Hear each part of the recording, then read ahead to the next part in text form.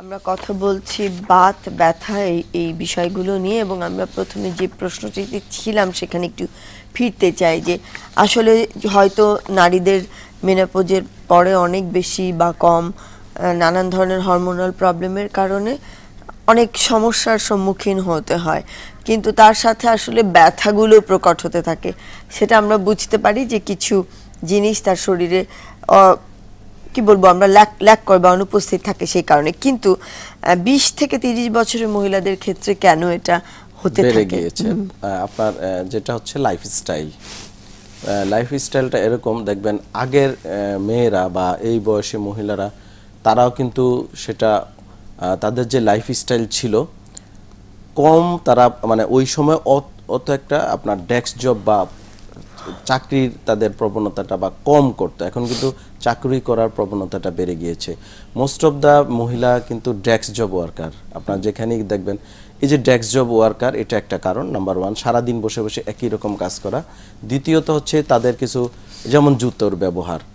যেটা অনেক সময় ফ্যাশনের কারণে হোক যে কোনো কারণে হোক, তারা জুতো ব্যবহার করে। এই জুতোর সমস্যা থেকে হাঁটু ব্যথা কোমর ব্যথা পায়ের তলার ব্যথা অন্যতম। আমরা প্রতিনিয়তই এই জাতীয় রোগী পাচ্ছি।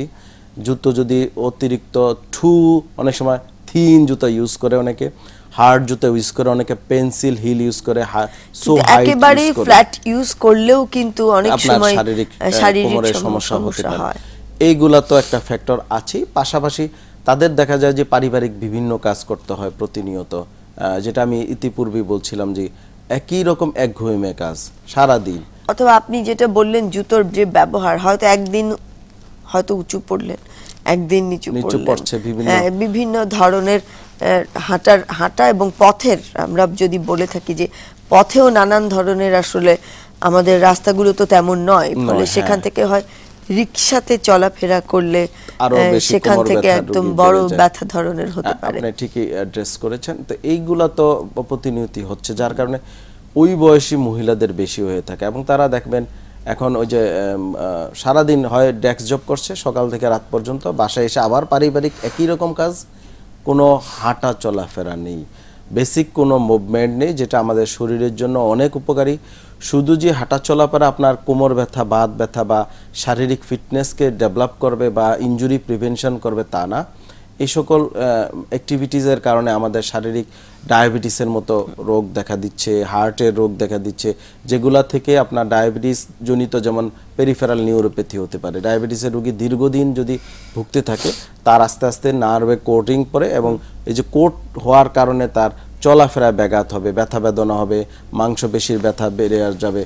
এটা কিন্তু আসলে প্রত্যেকটা ডিজিজ আপনার একটার সাথে আরেকটা কিন্তু ওতপ্রোতভাবে জড়িত এবং আমাদের লাইফ স্টাইলের সাথে জড়িত। যেমন হার্টের রুগীদেরও আপনার যদি হাঁটা চলাফেরা কম করে তাহলে কোলেস্টেরল বেড়ে যাবে হার্টের ব্লক হতে পারে বা বিভিন্ন রক্তনালীতে ব্লক হতে পারে হাঁটা চলা বেশি করলে? কম করলে কম করলে, জি। যেটা আমি বলছিলাম যে মুভমেন্টের অভাব। একই রকম ইনজুরি জাতীয় কাজ করা বা একই রকম একই কাজ করা বারবার ভুল অবস্থানে কাজ করা।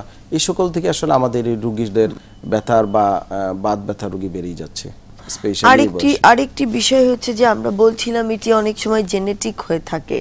কিন্তু হঠাৎ করেও তো অনেকের এমন হয় আর্থারাইটিস এবং অনেকে একটা প্রবণতা আছে ব্যথা কমার জন্য ইনজেকশন নেওয়ার। সেই বিষয়টি যদি আমরা একটু জানতে পারি। হঠাৎ করে কিছু ব্যথা বেদনা হতে পারে। সেটা হচ্ছে যেমন আপনার কিছু খাবার থেকে আমরা অনেক সময় রুগী পেয়ে থাকি যে স্পেশালি আমাদের অনেক মানুষ আছে আপনি জানেন মধ্যপ্রাচ্যে জব করে। তাদের এই রুগী ব্যথার টেন্ডেন্সিটা বেশি। আমরা প্রায়ই রুগী পাই। তার অন্যতম কারণ হচ্ছে খাবার। কিছু খাবার আছে যেটাতে শরীরে ইউরিক অ্যাসিডের পরিমাণ বাড়িয়ে তুলে তা থেকে ব্যথা হতে পারে। পায়ের আং বৃদ্ধাঙ্গুলি ব্যথা হয় হাঁটুতে ব্যথা হয়। তো এগুলা আসলে বলা হয়ে থাকে যে মাটির নিচের যে সবজিগুলো সেগুলোতে বেশি বেশি ইউরিক অ্যাসিড থাকে লাল মাংস যেমন গরুর মাংস বা কলিজা জাতীয় খাবার।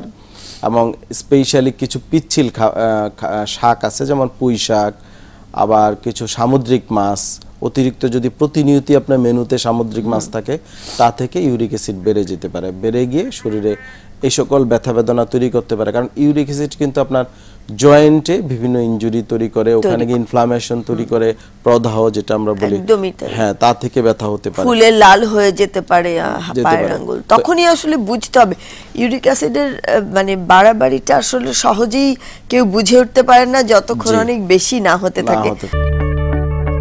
আমরা জানি আপনার প্রিয়জন আপনার জন্য কতটা গুরুত্ব বহন করে। প্রপার ডায়াগনোসিস কনসালটেশন পেইন ও প্যারালাইসিস চিকিৎসা পুনর্বাসন আমাদের সব আয়োজনই সব সময় আপনাদের জন্য চব্বিশ ঘণ্টা খোলা। আমরা চাই না আপনারা বারবার আমাদের কাছে ফিরে আসুন তবুও আমরা আছি সব সময় সর্বদা আপনাদের পাশেই। ডিপিআরসি হসপিটাল লিমিটেড আস্থা বিশ্বাস ও নির্ভরতায় অবিচল। নিয়মিত স্বাস্থ্য বিষয়ক আপডেট ও পরামর্শ পেতে আমার ইউটিউব চ্যানেলটি সাবস্ক্রাইব করুন ও উপরের ডান পাশের বেল বাটনটি চাপুন এবং আপনাদের অন্যান্য সোশ্যাল মিডিয়ায় এই ভিডিওটি শেয়ার করুন।